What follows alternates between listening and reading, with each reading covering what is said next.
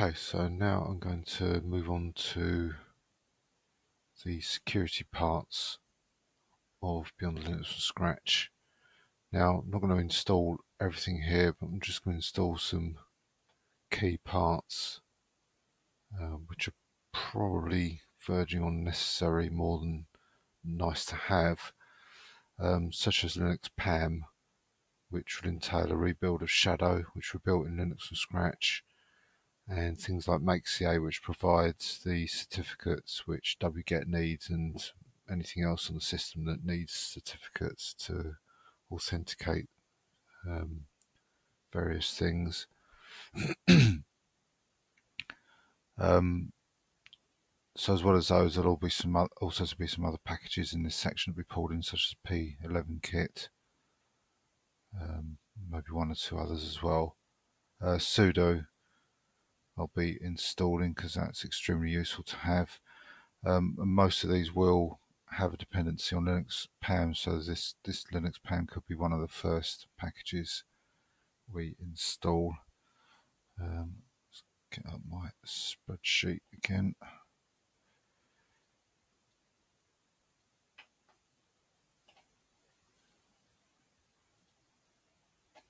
Right.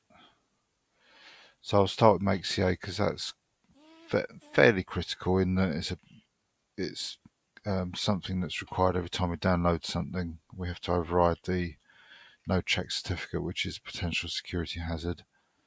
So let's start with that one.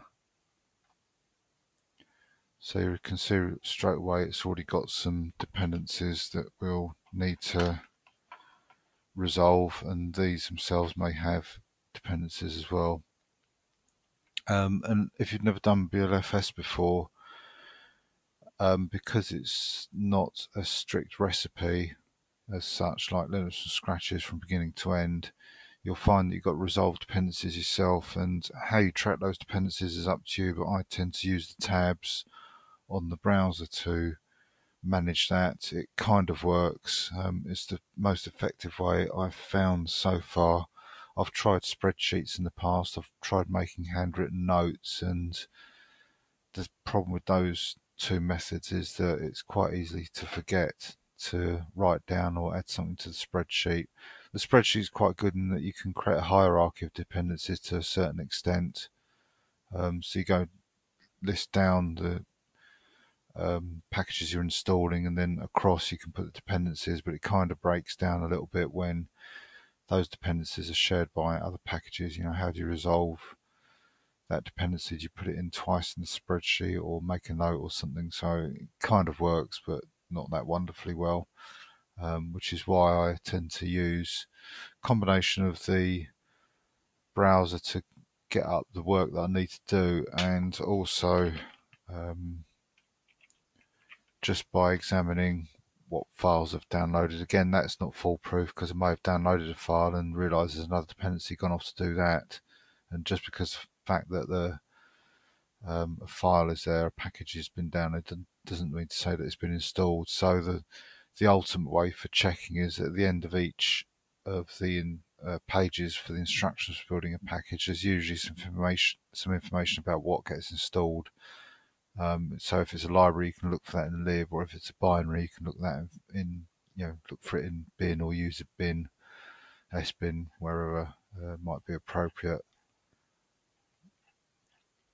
Um, so let's start with this. I've just noticed I've got GPM still from previous session. So, okay, so this is a timer. I can't use sudo. I was just going to use sudo then, but I can't.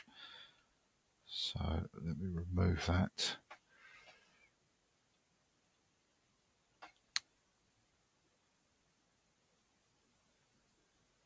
And let's turn this dimming off.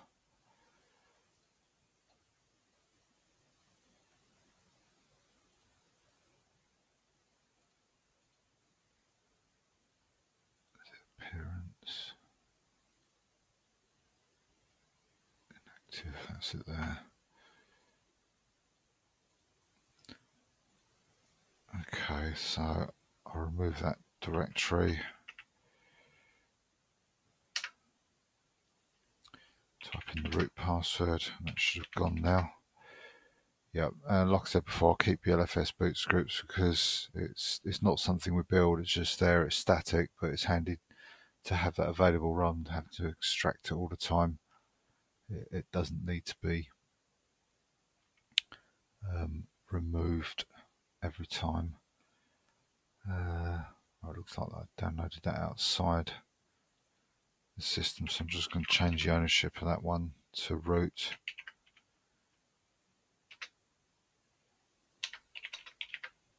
Just for consistency, why didn't that work? Okay, because I'm not the root user, so again I'm going to have to become root to do this. Okay, so you can see why sudo would be uh, quite useful to have at this point. But as I say, I think makeca is probably a little bit more important at the moment because it will resolve the issue of having to add on the no check certificates every time. Um, yeah, this is HTTPS again, so I'm going to have to put in no check certificate.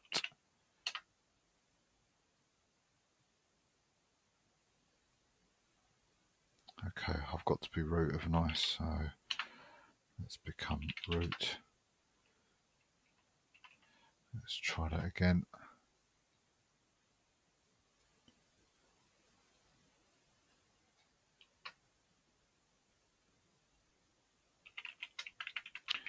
So I'm going to extract it, change into it.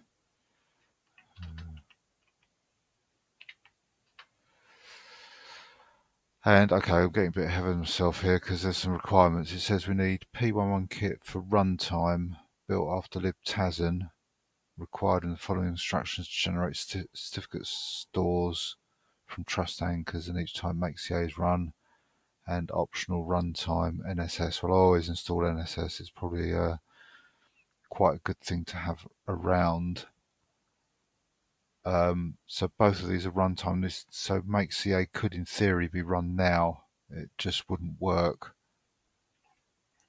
So what I'm going to do is I'm going to get these packages up to install. Um, looks like libtasn should be next. So let's see what other requirements NSS has got. That's got NSPR and it recommends P11 kits. Although P11 kits only runtime, we need to install that for NSPR, uh, sorry, for NSS. So let's get NSPR up, SQLite, and I'm going to move P11 kit next to SQLite because that's a requirement for that. Um,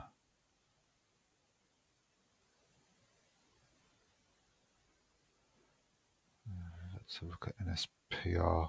Right, what I'm going to do is install NSPR straight away because let's get rid of makeca. We don't need it yet. Um, it's got no dependencies, so it's a quick one just to get out of the way, keep the number of tabs down. So let's do wget. Got to keep remembering to actually paste these folders.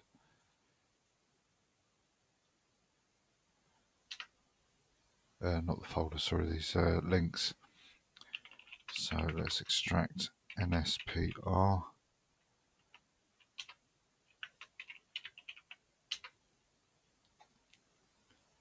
And NSPR by running these commands in. Um, as I said previously, it's worth checking the explanation, see if there's anything extra you either want to add or remove. Um, otherwise, it just explains what the commands are as it does here. So with Mozilla, add support for the Mozilla libraries. So that's a good idea. And pthreads forces use of the system pthread li library. So that sounds like quite a good idea as well. So yes, we can copy and paste all this in one go. If you want to learn a bit more about what's going on, you might want to just do one command at a time to get a grip of what's happening.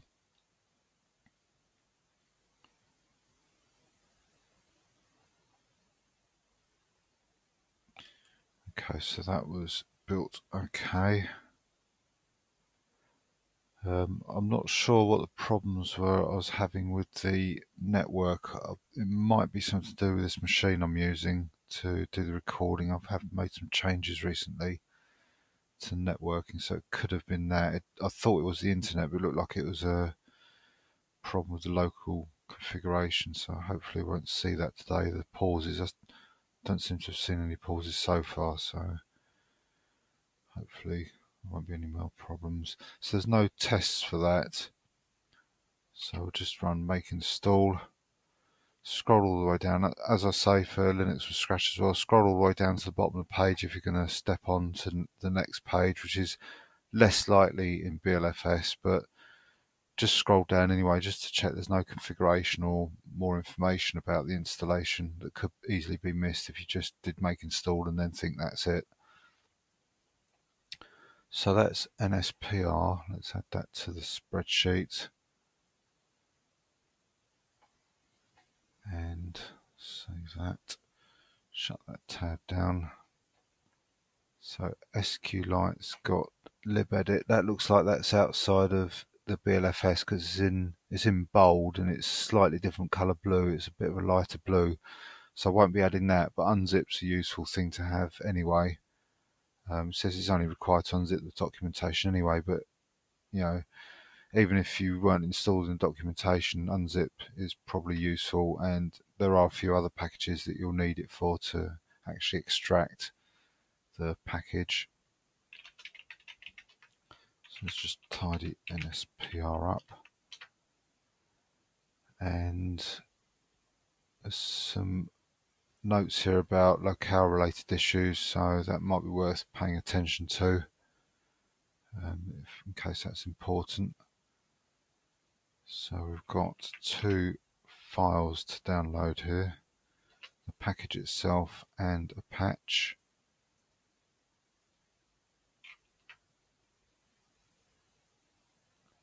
There's some more information there about it. Um, I've not, oh right, okay, I didn't do this no check certificate again. I don't think I'm aware that by default, certainly for the locale that I'm using, UK locale, that there's been, ever been any problems, certainly as far as building beyond Linux from scratch is concerned, um, whether there would be any problems with um, proper like day-to-day use of Beyond Linux from scratch, um, I, I'm not in a position to say about that. But obviously if you do have issues, that might be something you want to look at. So let's extract, unzip. Okay, what's it called? Unzip 60.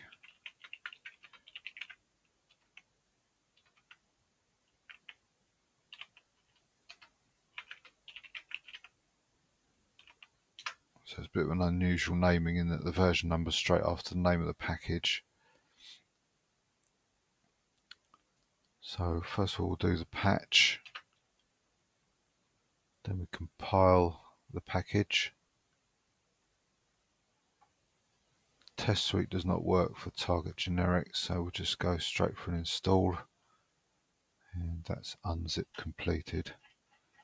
So add that to the list and tidy up.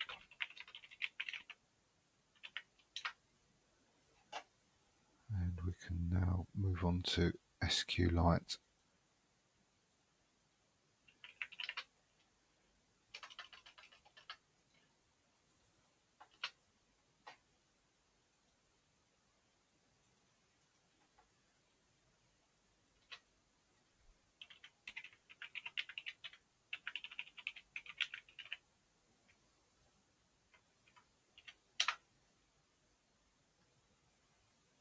So although um, SQLite is quite a small package, for its size it takes a little bit longer than you'd expect if you just went by the size of the package. So it, I think there's only like a few C files it compiles, but they must be quite big because it seems to pause while it's compiling, but it is actually doing something. It's a little bit misleading, this package.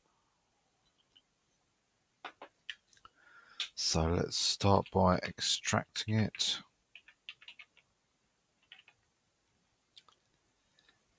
Um, so it says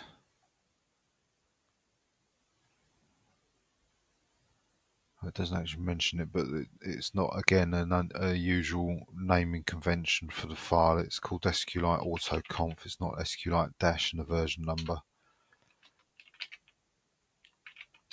Change into it. Run, as you can see, unzip, which we just built to extract documentation to the build directory.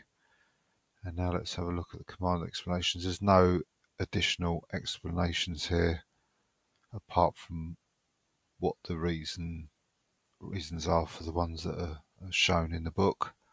So we'll just copy the configure and I'll time this just to see how long it takes to build it.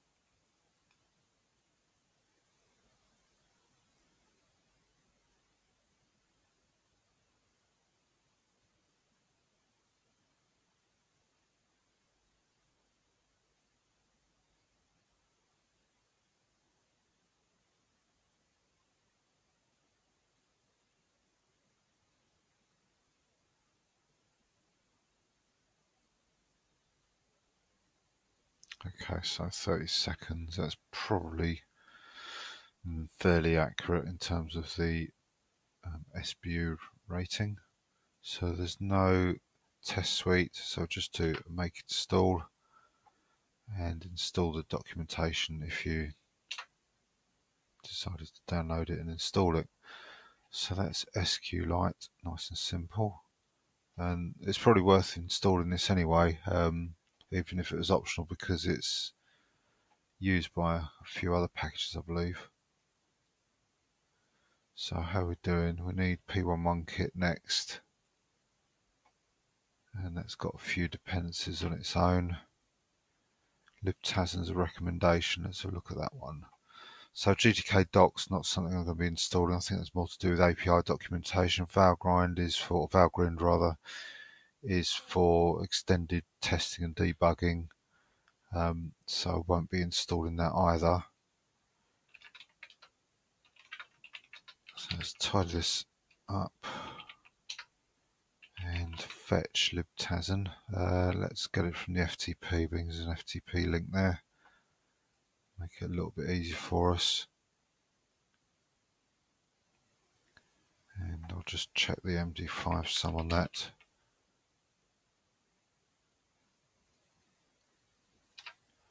And that matches so that's fine.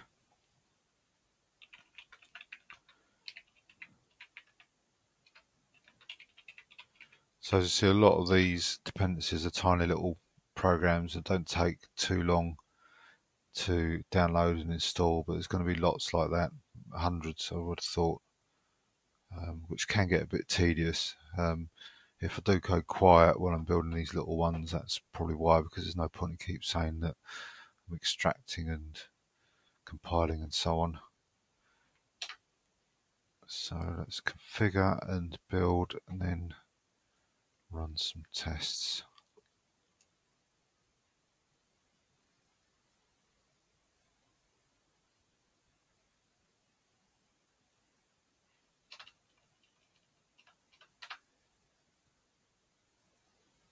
Right, that's all passed, that's good.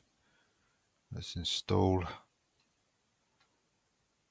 And it says if you did not pass the enable GTK doc, which didn't because we haven't got GTK doc installed, you can install the API documentation. Well, not going to be doing any, any programming. Uh, it's unlikely to be useful, so not going to install that at all.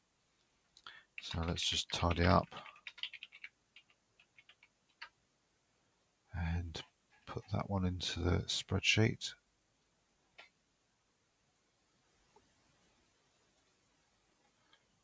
Shut that down. So P11 kit. Now, GTK doc, yeah, I'm not installing that. libxslt, I have a feeling this gets us into another um, realm of dependencies. So I'm going to sort of be a little bit slow here while I'm thinking about what, what needs to be done. Um, and yes, I think this is the reason why it says here, although it's not direct dependency, many applications using libxslt will expect these two files to be present. So as it says, it's recommended at runtime, so we do need to install them really, and this is probably a good idea to install as well to make sure that uh, the installation is complete. So let's get all these little fellas up and see what sort of dependencies these bring in.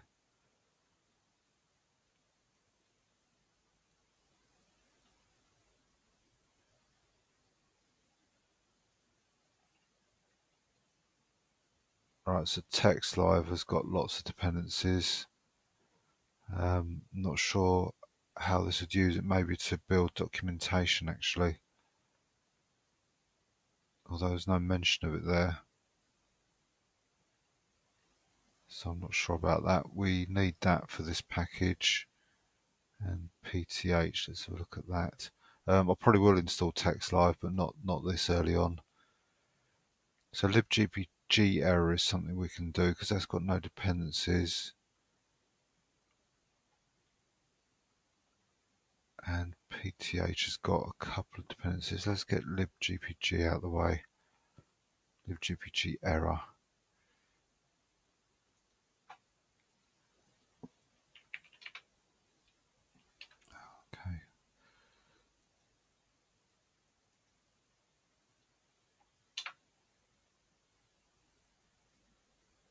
I'd just like to check the MD5 sum of the file just downloaded because we've got it from FTP. It's not secure link, so just to be sure. I mean, there shouldn't be any problems with that. I can't think there'd be any reason why, but just in case.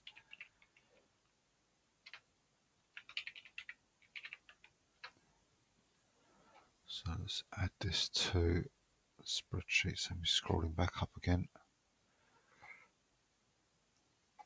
So this is quite straightforward, this installation.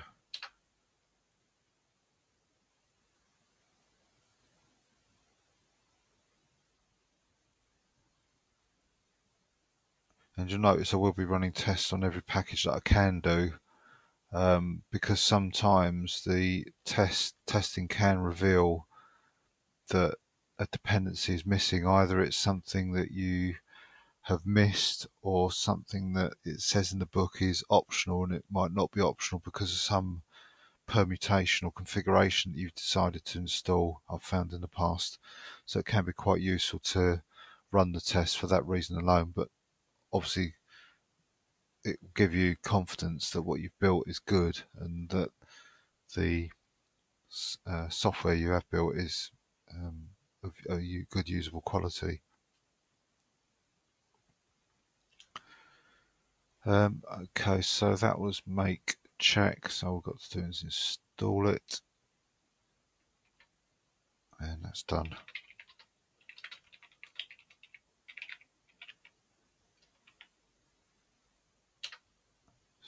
Okay, so that's in the spreadsheet. Let's now shut that down. Take a look at, it says it needs GCC to be recompiled with gfortran but it is optional.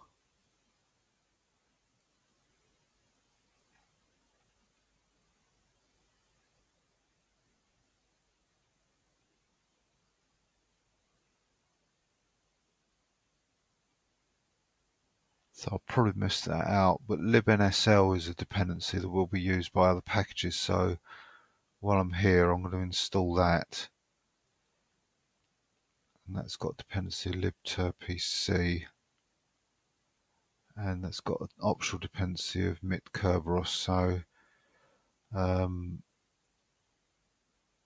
that's something I have installed in the past, but it's not something I, I would use anyway. So I'm not going to install that this time. It's, it's probably unnecessary really. So I'll, I'll start this dependency sequence with this package here. So I'll paste that in the spreadsheet. Fetch the file.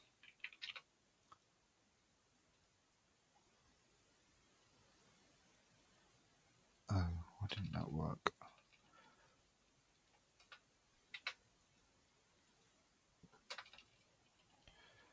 thought I just copied this link. Maybe I didn't copy link address.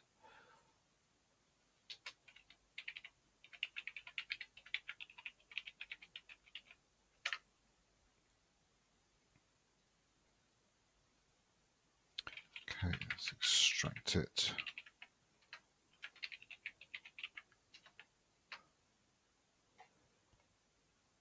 So we need to pass in disable GSS API because we're not installing that. Um, oh, it's already in the instructions anyway, so that's handy. So let's run the configure on that.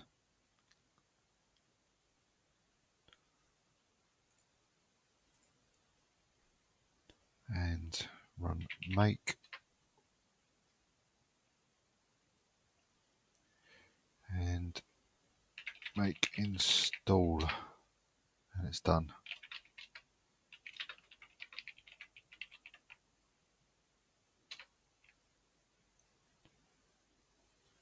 Now we can install libnsl.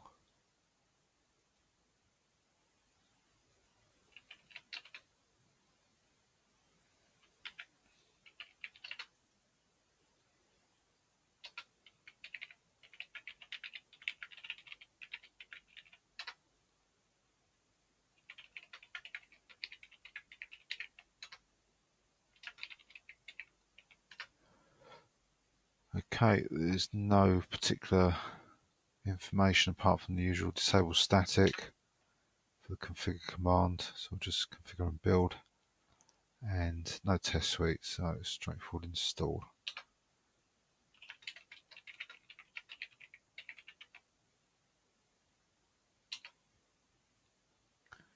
So that's done. Let's put that in the spreadsheet. So although these aren't in order, they're more or less in the order, well, they are in the order that I'm installing them. Um, at least I'll be able to search the spreadsheet for packages if I'm unsure whether they've been installed or not.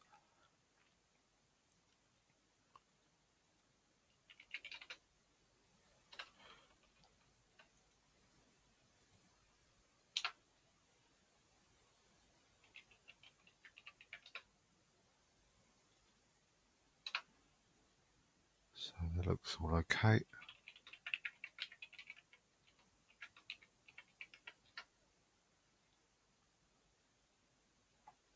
So it says about don't add the enable pthread parameter to the configure command as, as your trash um, and interface header installed by glibc. Uh, apart from that, there's no other extra configuration options.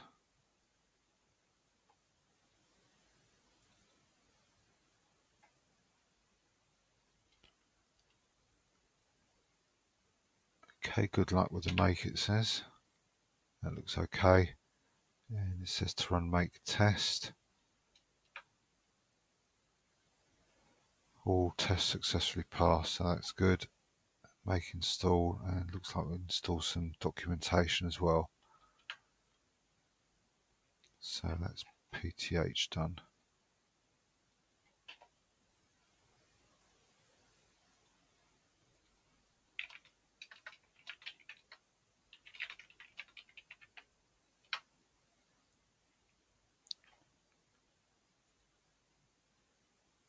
So, uh, libgcrypt.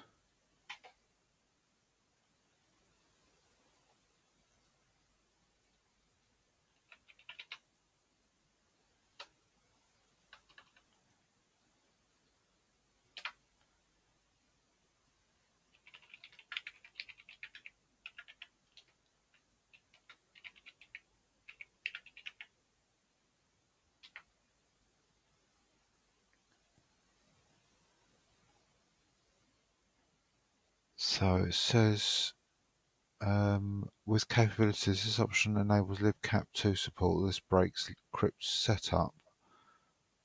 So uh, I'm not sure what would use that. So because of that, our cryptsetup is used to set up transparent encryption of block devices using the kernel crypto API. So that might be something you want to use. Um, so I won't add that in case.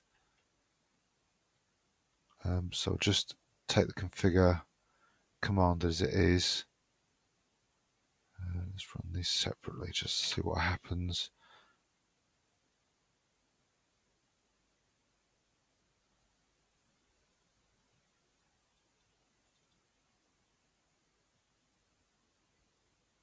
Okay, let's see what it says here.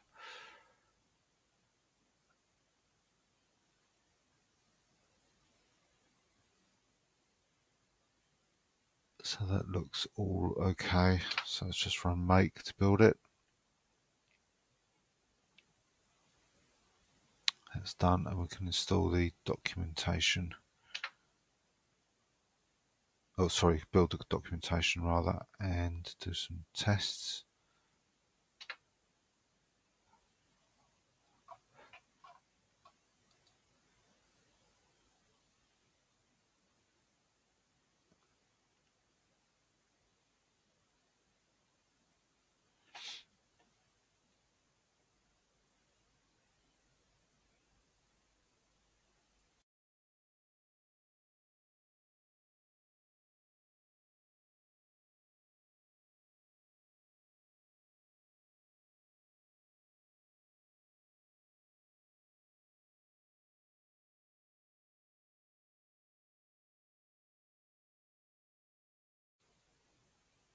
Okay, so that's all passed by the looks of it. One skip.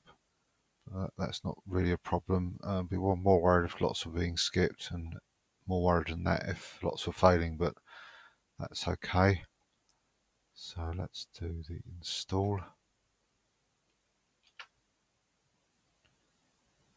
And that's complete. So check that was libgcrypt. Yeah, that's all done.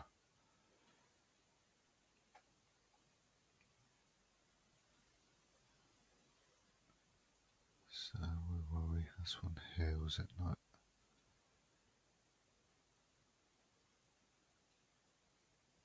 All right, okay. So that's part of libxslt. Let's tidy this up.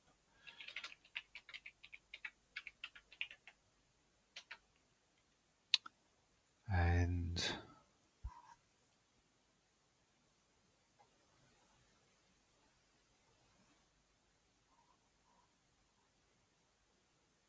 look at this.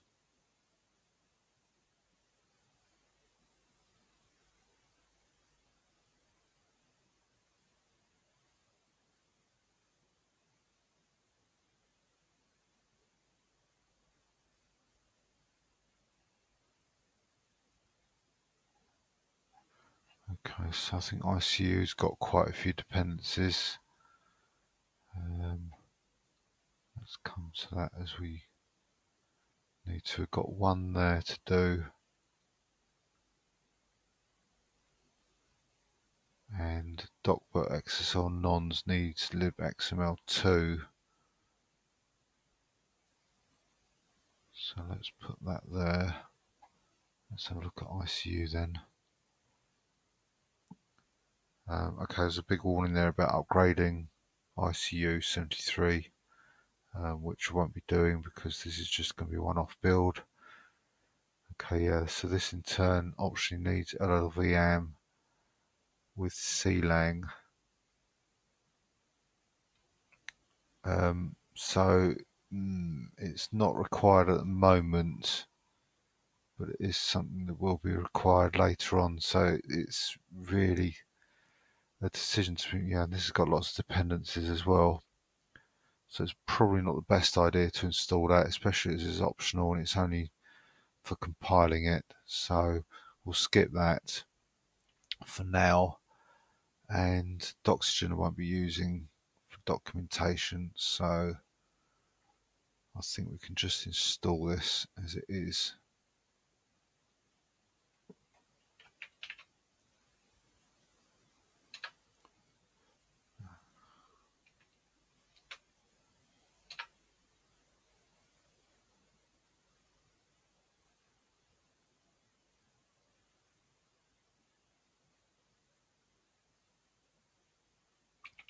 Let's extract it.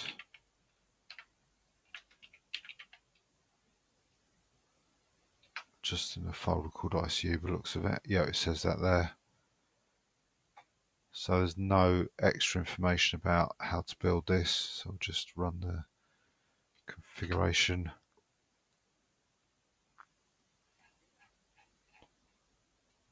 Let's put this in the spreadsheet for forget.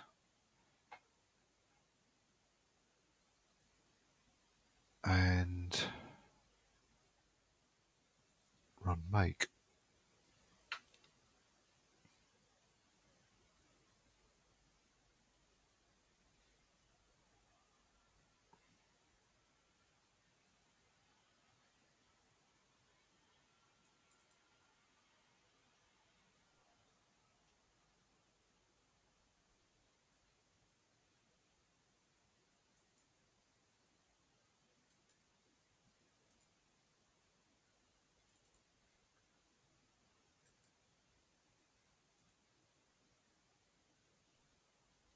Okay, that's done. So now let's run some tests.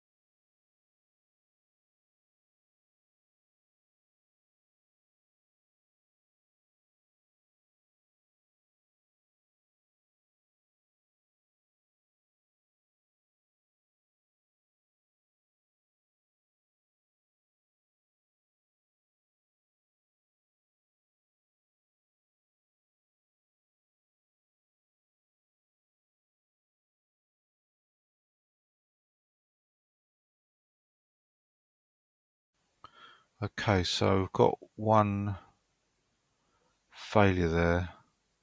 Uh, I have seen this before for Hebrew calendar.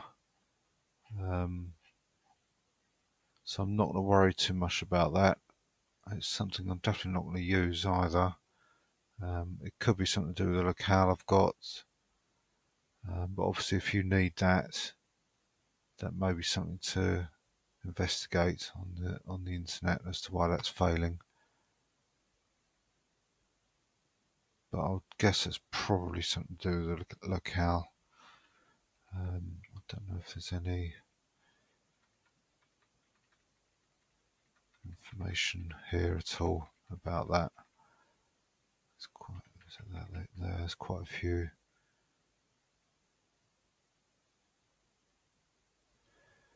Oh, right, it does say known issue there against the script Hebrew, so I'd say that is probably something that can be ignored.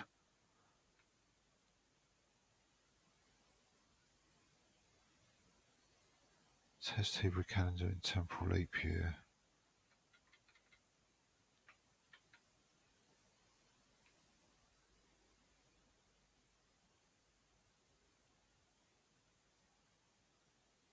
Um, if it's not exactly the same error, it's certainly related if it's mentioning about the Hebrew calendar. So, yeah, I, I wouldn't worry too much about that myself. So I'm going to install that. And that's ICU done.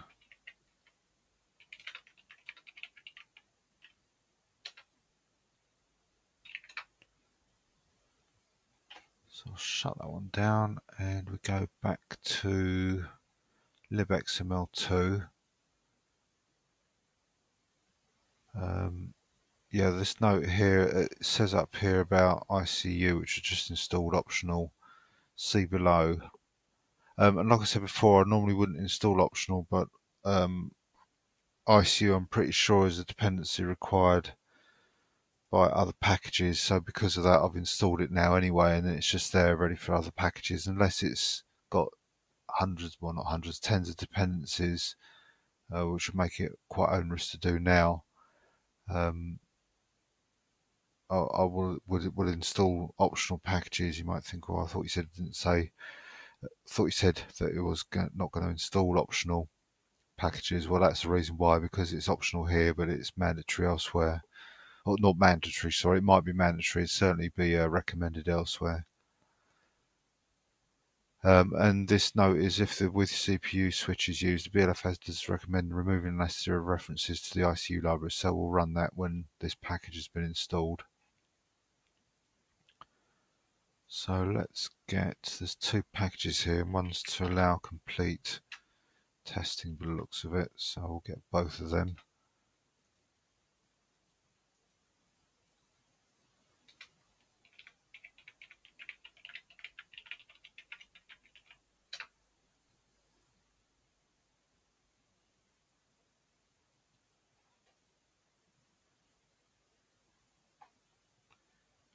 Okay, so we'll extract the first one.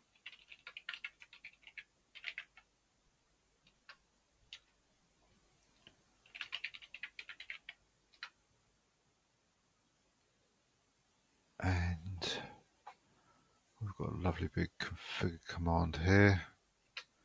Let's see if there's any other options here. Disable statics part of it with history, Python, and then we need to add with ICU for better Unicode support. So it is optional, but it does give us an advantage by including this optional package now.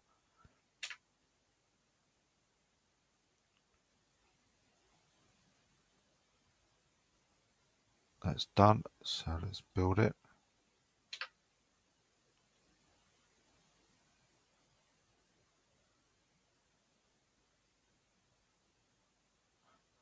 Okay, if we downloaded the test switch, which we did, let's extract it and run the command to build it and there won't be any output except for any errors because we're redirecting everything to the log file there, check.log.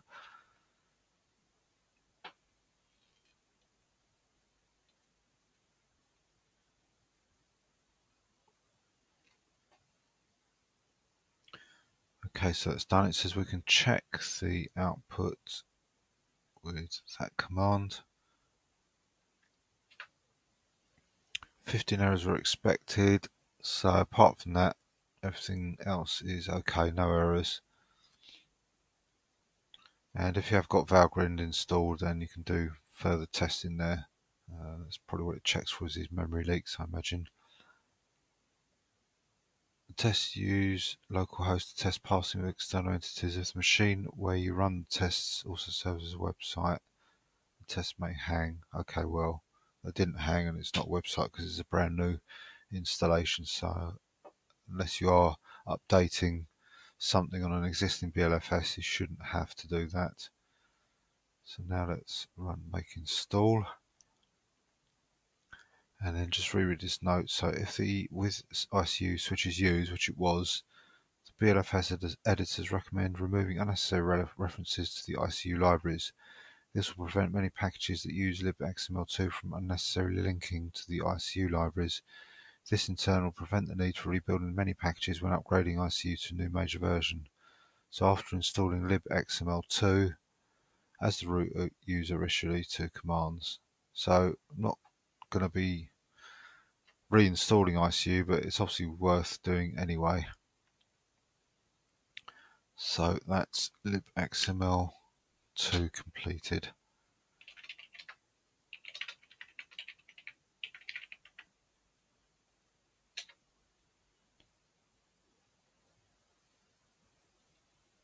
So now we've got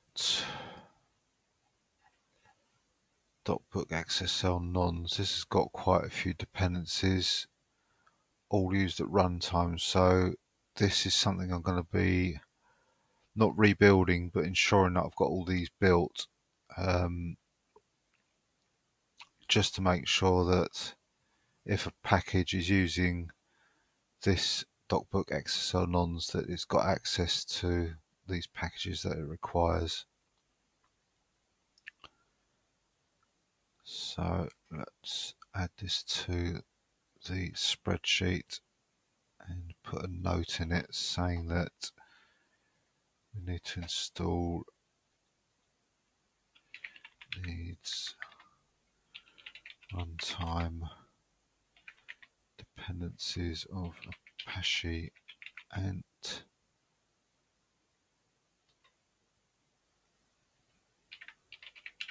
Python 2 Ruby 3.2.2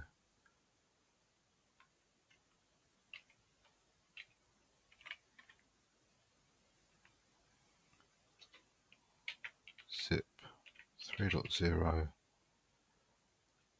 and that's all there is for the internal BLFS packages so I'll be making sure that I add all of these in for a complete build.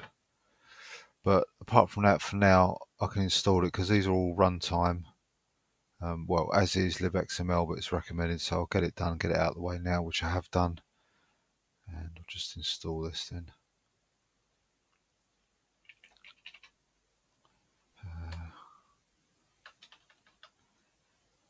Paste. So that's the package. There's a patch. And some optional documentation, so that looks useful.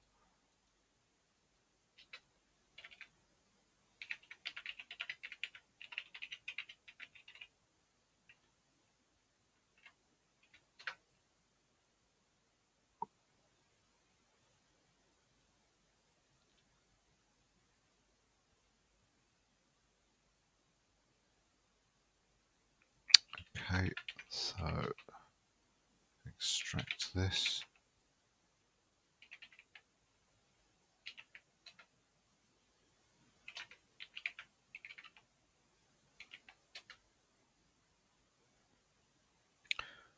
First we apply the patch, then we install the documentation into the source directory and Let's check for any other configuration options. There isn't any, so we can just copy these commands to install it. Install the documentation and then configure the package. So if you're installing the current version over a previous version, remove, we don't need to. We need to create or append the XML catalog file using the following commands as a root user. So I'll copy this all in. And it says occasionally you may find the need to install other versions of XSL style sheets as some projects reference a specific version. One example is BLFS 6 which required the 1.67.2 version. In these instances you should install any other required version in its own version directory and create a catalog entries as shown. So we're not going to install this because you can see it needs a version. So you don't even need to do this if you are installing a different version side by side with this current version of 1.79.2. So there's nothing else to configure for that. I'll close that one down and tidy it up.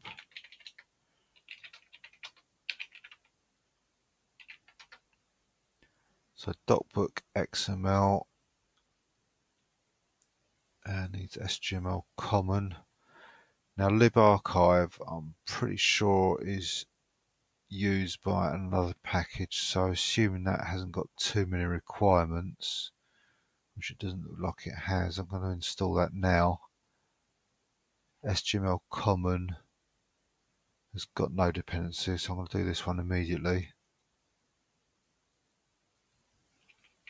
I may as well copy this link here instead. Means I've got to download this one as well.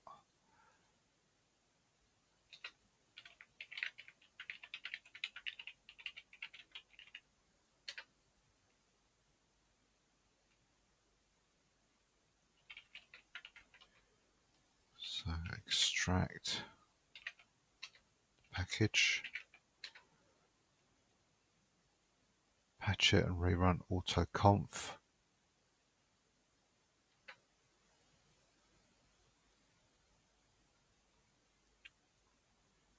Uh, no configuration information so let's run the configure and build a package. That's done. Install the package. And it says there about updating it. There's a hint there as to some commands that need to be run. But apart from that, that's SGML common installed. So libarchive has got these two dependencies. LZO's all by itself and so is Nettle effectively because I'm not installing Valgrind. So let's get these two in.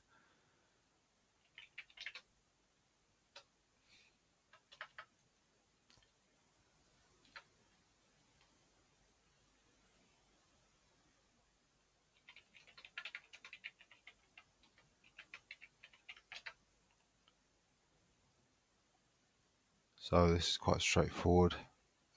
Not many options or much information to read about the installation of this one.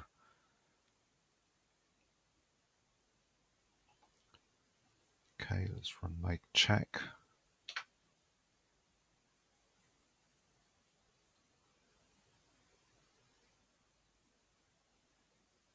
Okay, that's all okay. Yeah, it says all tests passed. Install it with these commands and that is complete. So that's nettle.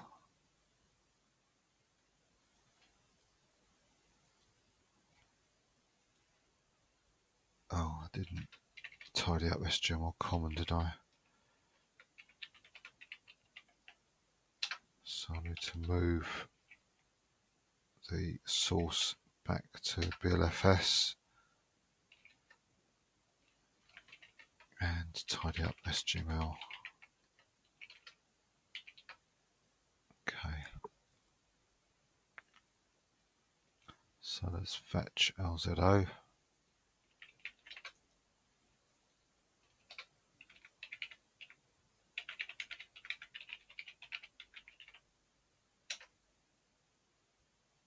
Extract it.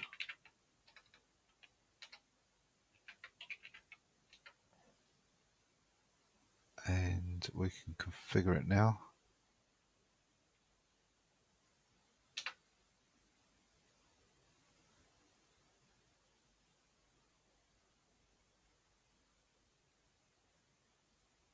and build it.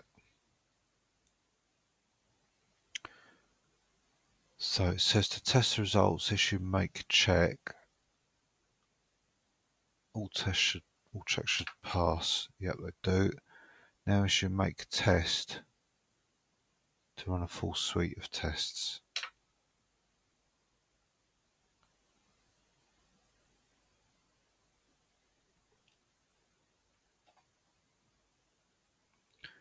Okay, that looks all good. So let's install it. And that's LZO done.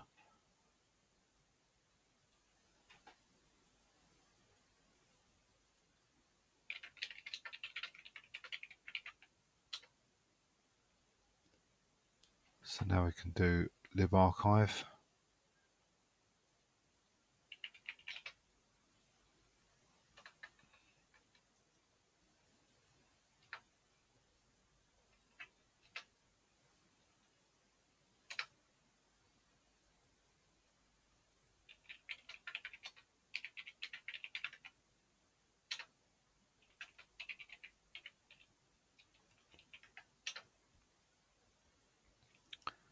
Okay.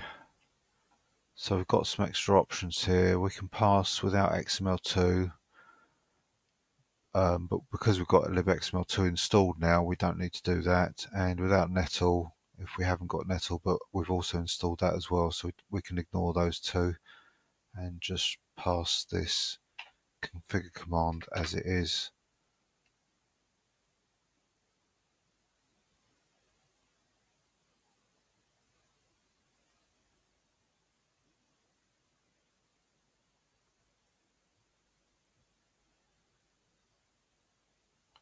And finally build the package. Run some checks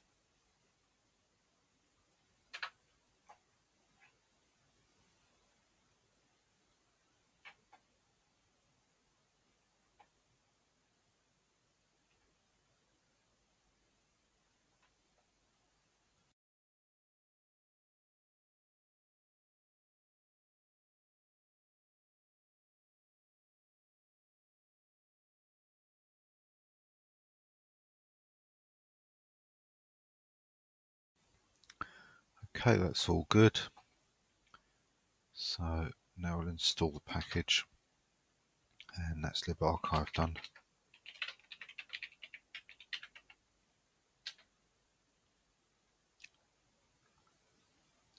So now we've got all the required dependencies for DocBook XML. In fact, we've gone over and above that because we've installed unzip. As I say, that's useful anyway. Um, and libarchive, which I'm pretty sure is used by something later on, something um, maybe like Qt or something. So let's now fetch it.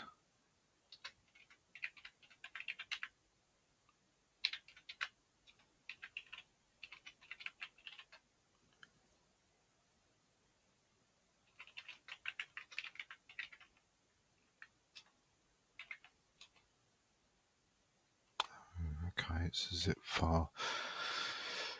Uh, we have to be careful with these because sometimes the zip files haven't got a container directory and they'll just end up with all the files in the BLFS directory. So if that's the case, always go to the book and read any notes that might be there. Um, it does say that you need the unzip. Oh, it's obviously for extracting this um, package. That's why it's needed. Uh, and that's why libarchive is an option as well. So yes, it does say you should create a directory and change that directory before unzipping the file to ease the removal of the source files after the package has been installed. So let's do mkdir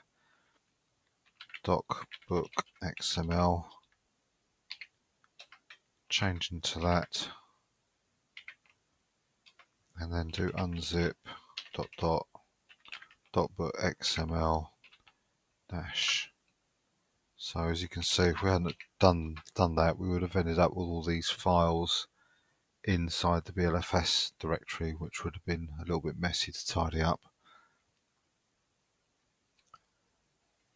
So this is just a case of installing some files.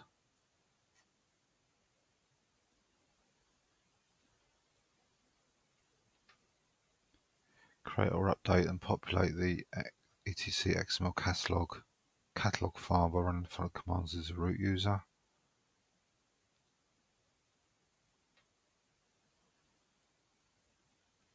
The above installation creates files and updates catalogs.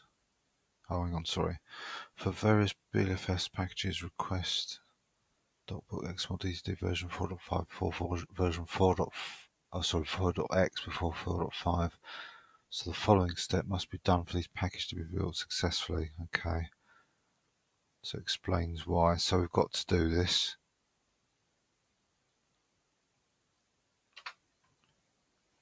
Okay, that did something. Didn't get any errors, so that's the main thing. So that's DocBook XML installed. so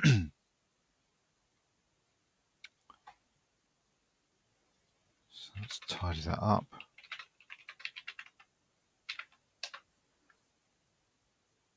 And we're at libxslt now. We've got all the dependencies for this installed. So let's fetch that. Force of habit I keep center clicking just to paste what I previously highlighted but because I'm copying these links I've got to paste them in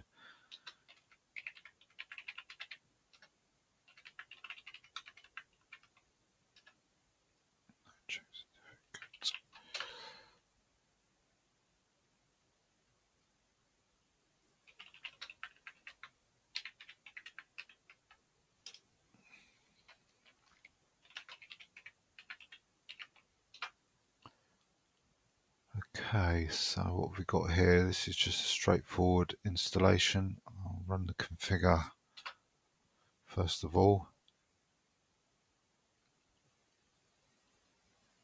And build it. Run some checks. All okay. Install it. So that's libxslt done.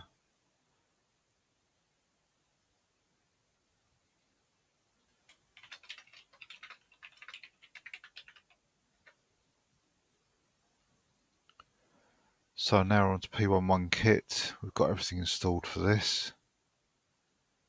Copy link.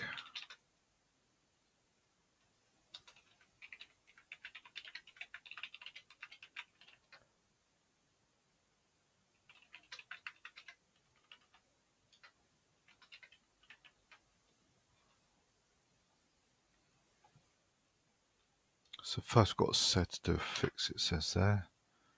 Prepare the distribution specific anchor hook. Install P11 kit by running the following commands. So some information here. So if you've got GTK doc and libxSLT installed, you can use that command there.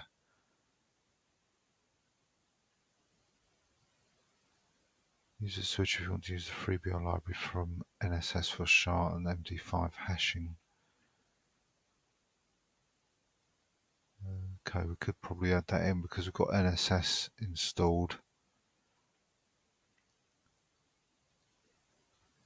So let's try putting that in.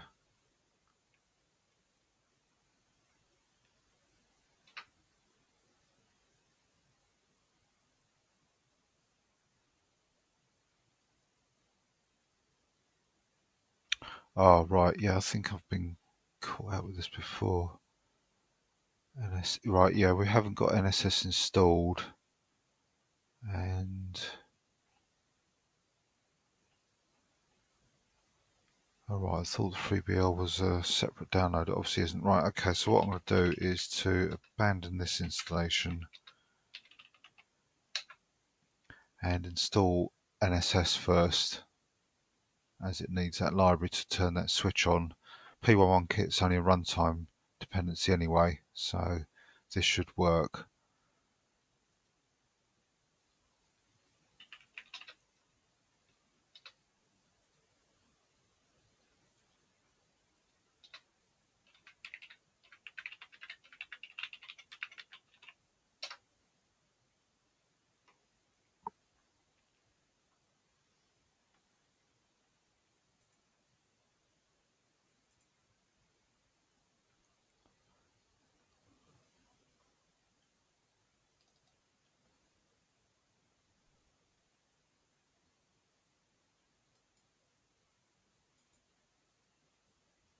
So it's quite a big download.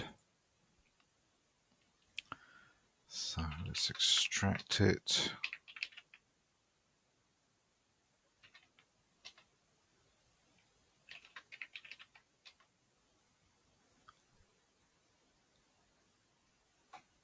Patch it and change into a subdirectory.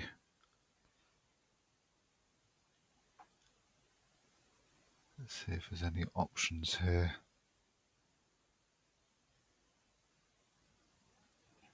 Right, let's probably copy this first.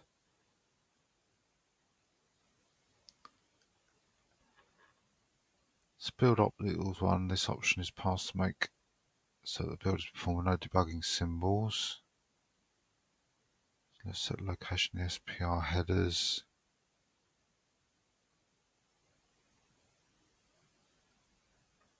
Doesn't I presume that enable W error enables warnings as errors, so it disables it by setting to zero, I presume. This is for configuring for x86 bit.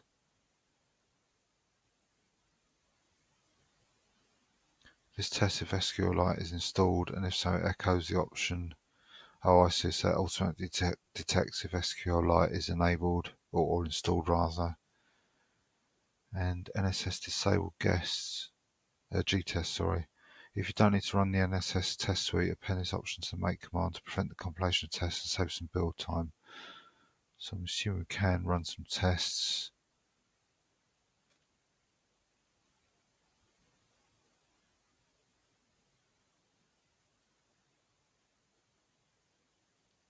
Okay, so it looks like it does say it takes some time, but um, it's only 1.2 oh 15 SBU, so and 30 on Intel, so it could take quite a while, but it's worth testing. Um, otherwise we won't know if it, it's going to work or not really.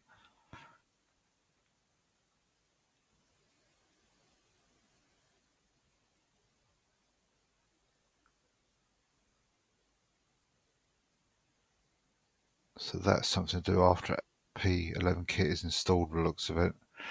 Um, so I think that is all that's required to get the build working.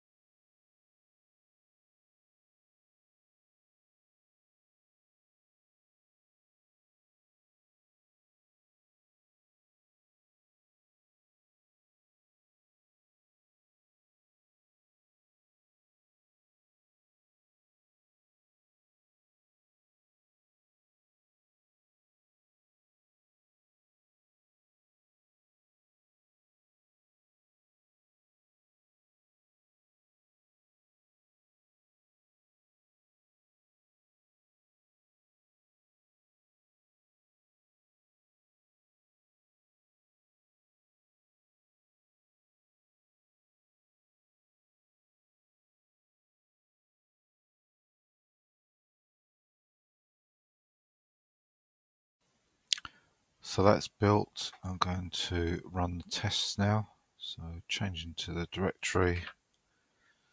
See if we can time these.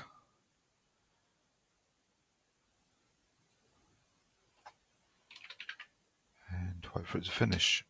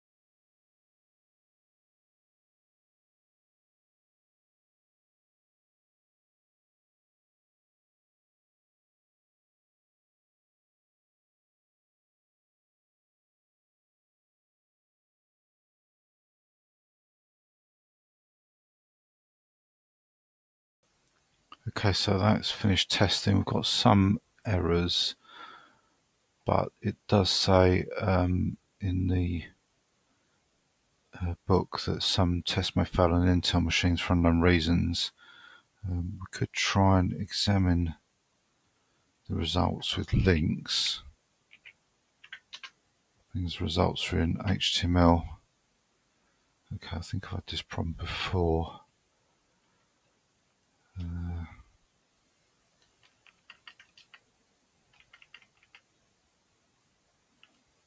test results, security,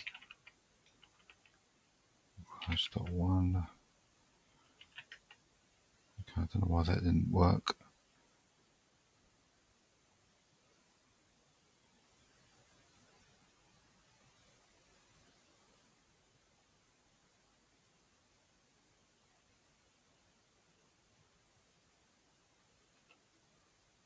Not sure what it that didn't work, but anyway. Uh,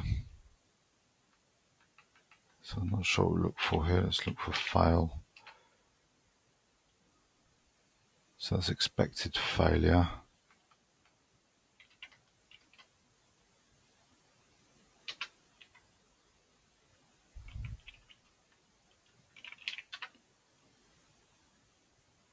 Past.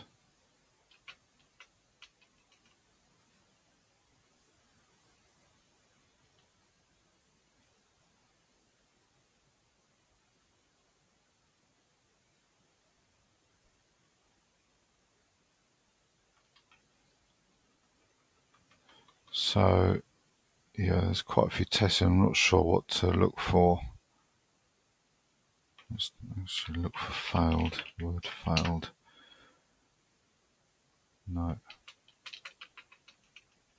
But there was, what was it, 12, 20 odd, something like that. Uh, 24, so I'm not going to worry too much about that. That's quite a minimal number given there were nearly 70,000 tests that were executed. Uh, that's an extremely small fraction. And the fact that um, it does say that some tests may fail on Intel machines, that's perfectly right as far as I'm concerned. So let's install the package. Okay, why is that not working now?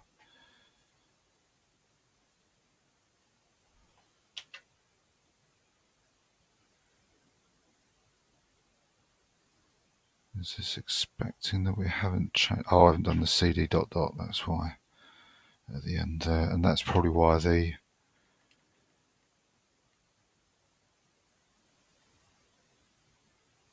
uh, could be why that didn't work as well. That URL didn't work, so let's run that. That's all okay. So the thing we've got to do is put this in, but I won't do that in because we haven't installed P11 kit yet. So I'll leave that up to remind me to do that. And we can get rid of NSS. Let me put that in the spreadsheet actually.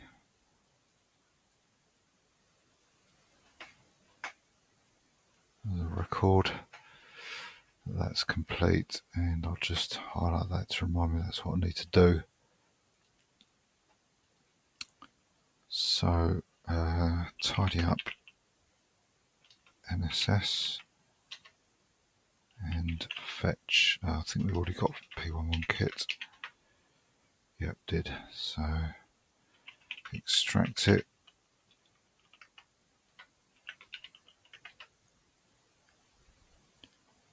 and run this set in.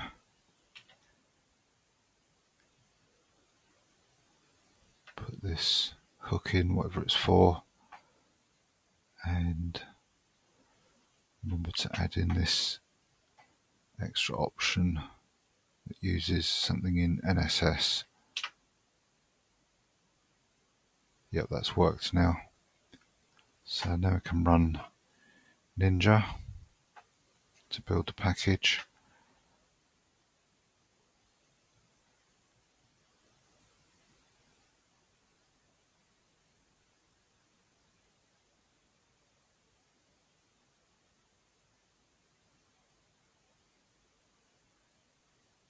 Test enumerate something's failed there.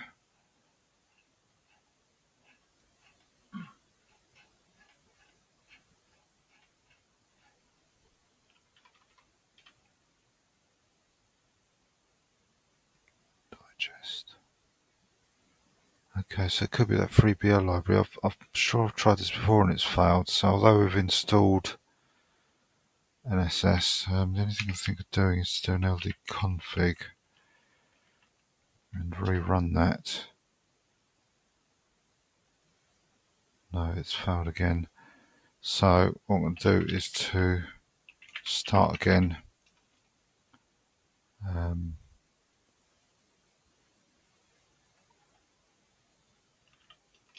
because we're in a separate build directory, I don't need to extract the whole lot. I can just start at this point, but I'll leave that option out for that FreeBL library. And we run Ninja.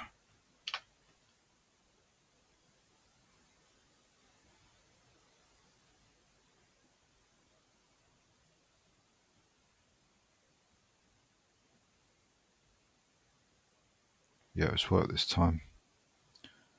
Uh, and let's run some tests.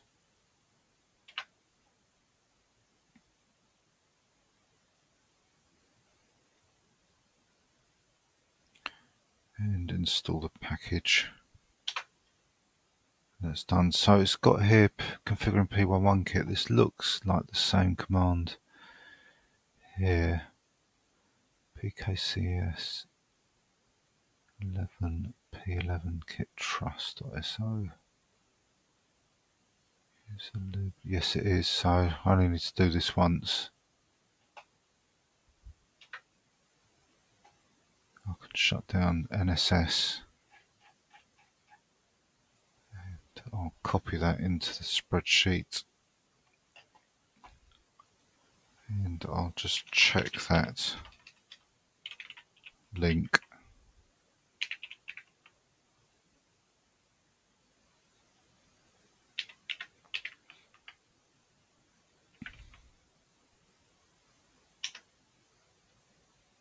So that's the file that the link's pointing at, that one there.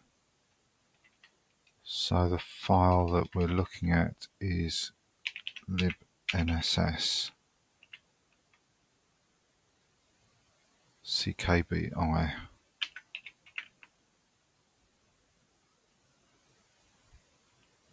dot star.